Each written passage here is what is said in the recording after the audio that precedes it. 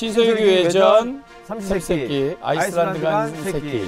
죽은 새끼, 쉬운 새끼가 보이는 새끼들의 열전. 이 방송은 또 말씀드려야죠. 삼립 호빵과 함께합니다.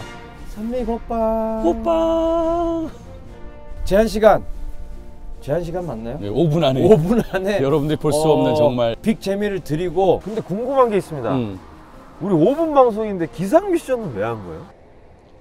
새끼들 지루하지 않고 이게 이제 미래 방송이거든요. 우리 호동형이들 얘기하던 미래 방송. 군더더기 싹 날린. 굉장히 기대가 됩니다. 분당 최고 시청률 뭐 이런 거 있지 않습니까? 예, 예.